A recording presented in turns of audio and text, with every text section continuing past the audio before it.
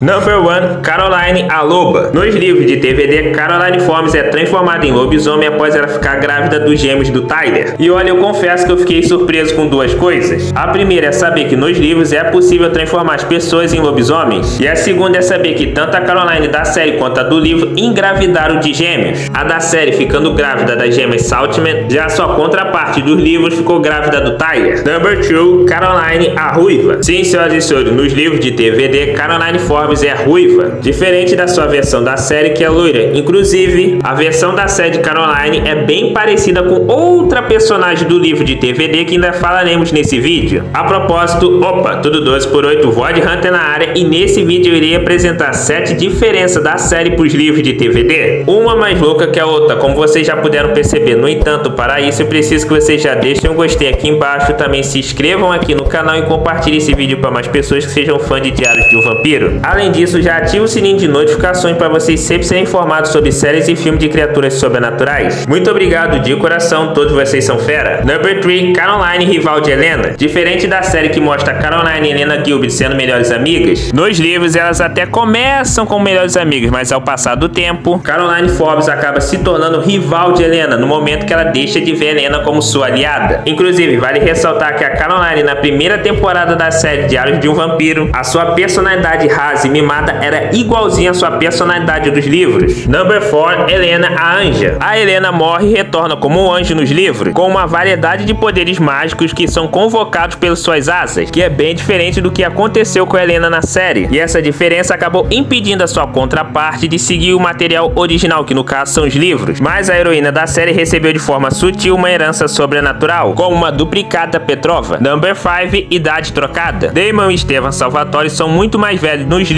do que nas suas versões da série. Nos livros, tanto Demon quanto Stefan possuem mais de 500 anos, já suas contrapartes da série possuem 300 anos a menos. E isso é devido que no material original, tanto Demon quanto Stefan nasceram na época do Renascimento italiano. Isso sem falar que as suas versões dos livros são bem mais poderosas que suas versões da série. Number 6. A herança italiana dos Salvatore. Damon e Stefan Salvatore originalmente nos livros possuíam uma herança italiana. Como eu disse quase agora, tanto Damon quanto Stefan nasceram na época que estava rolando o Renascimento italiano e eles viveram essa época na Itália como humanos. Na série eles mantiveram o sobrenome Salvatore, o que para quem não sabe tem origem italiana. No entanto, a nacionalidade do Stefan e do Demon foram alteradas na série, e isso aconteceu para que ambos fossem conectados com a cidade de Mystic Falls. Na série, os irmãos crescem em Mystic Falls e voltaram para a cidade natal periodicamente, ao longo de suas vidas, o que acabou levando-os a conhecer a jovem Helena, principalmente o Demon que conheceu ela primeiro, né? Number 7, Helena chata. Pra quem acha que a Helena da série é bastante chata, é porque não conhece a Helena dos livros. Que meu irmão, vou te contar, a Helena é bem chatinha nos livros. Ela é do tipo que quer os garotos só pra ela, ela quer que os garotos a desejem, ela se acha linda e tudo mais. Ok, é dito nos livros que a Helena é muito linda. E isso é devido à sua aparência nos livros ser bem diferente da sua aparência na série. É citado no livro que a Helena tem uma pele pálida, ela também é loira e possui olhos azuis. Lembram que no começo desse vídeo eu disse que a Caroline da série lembrava uma personagem dos livros de DVD? Pois bem, era da Helena que eu estava me referindo. E rapaziada, bora combinar que a aparência da Helena dos livros era o típico padrão de beleza da época que o livro foi lançado. Sem falar que ela é aquela típica líder de torcida que quando passa os garotos param o que estão fazendo para olhar ela passar. Ela é realmente muito linda. Como eu já mencionei anteriormente, ela queria os garotos para ela, porém ela não queria os garotos que queriam ela. Na verdade, ela queria os garotos que a rejeitassem. Enquanto a sua rival Caroline era ela mesma. E é por isso que elas não se davam bem. Mas depois que a Caroline se transformou em vampira na série, ela acabou evoluindo muito e se tornou aquela mulher maravilhosa que a gente conhece. Mas esse foi o vídeo, as 7 diferenças da série pros livros de DVD. Gostaram, não gostaram? Comentem aqui embaixo. Além disso, comentem outras curiosidades de DVD que vocês gostariam que eu traga aqui pro canal. Mas agora eu queria estar contando todos vocês a deixar o like aqui embaixo no vídeo, se inscreverem aqui no canal também, compartilhar esse vídeo para mais fãs de